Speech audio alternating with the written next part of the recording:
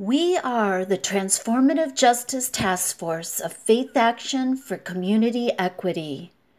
We are different faiths, ages, and backgrounds, and we are currently working together with community partners to reform the cash bail system in Hawaii.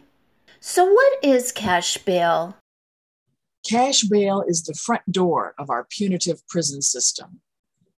Cash bail is a set amount of money that a detainee could pay to get out of jail after their initial arrest. It is used to guarantee that they will return for trial.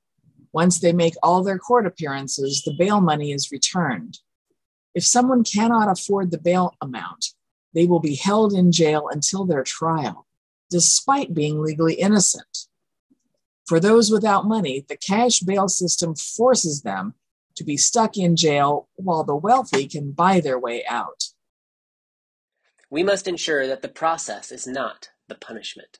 Being jailed and not let out because you can't pay cash bail can sure feel like punishment for a crime, but the detainee, who is innocent until proven guilty, has not been convicted of a crime. Why is cash bail an issue?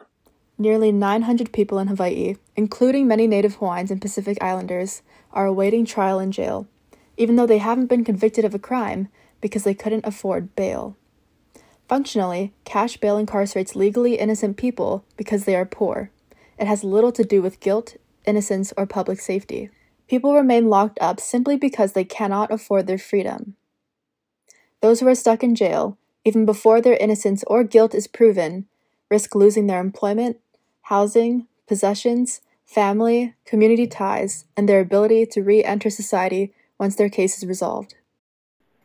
This comes at a cost to the wider community, too. Keeping people in prison costs taxpayers over $200 a day. Surely our communities could make better use of this money. We believe in building safer and healthier communities.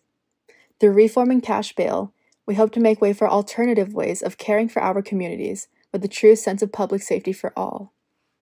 Reforming the cash bail system is not new. The federal government and juvenile justice systems have already eliminated the use of cash bail, and multiple states have enacted and are in the process of enacting legislation. Some of our own Hawaii legislators have been working on bills to eliminate cash bail for certain offenses, but none have made it into law. Yet.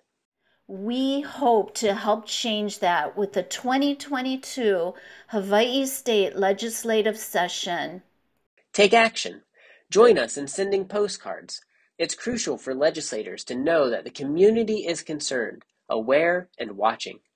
Help us send 1,000 postcards to reform cash bail. You can sign up for action alerts from Faith Action's Transformative Justice Task Force. We'll let you know when action is needed and provide you with a quick and easy way to offer support. Connect with us online, stay up to date with our different efforts, and take part when you can. Visit our website, faithactionhawaii.org. You can find us on Facebook and Instagram at Faith Action Hawaii. Join us in advocating for and supporting legislation to reform cash bail in Hawaii.